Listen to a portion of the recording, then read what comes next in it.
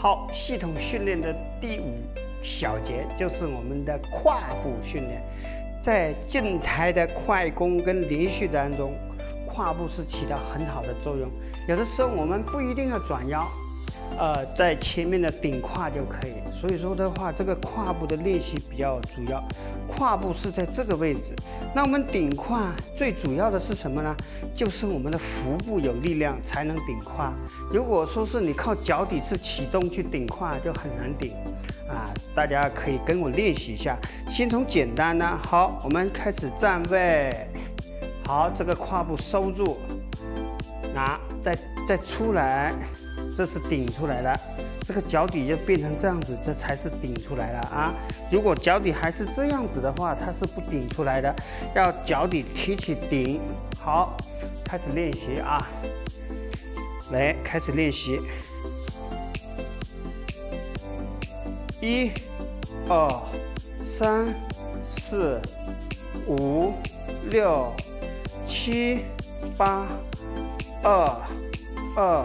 三、四、五、六、七、八，三、二、三、四、五、六、七、八，四、二、三、四、五、六、七、八，注意这个脚跟啊，啊，一、二、三、四。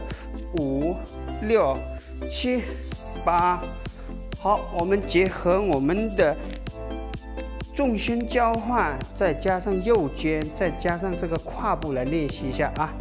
站好位置，好，一、二、三、四、五、六、七、八，一、二、三、四。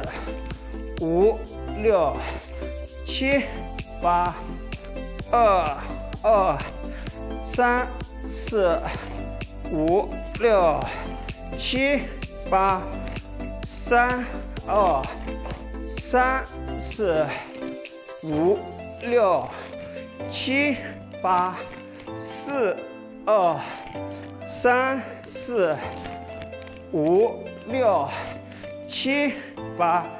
身体重心也要带上去啊！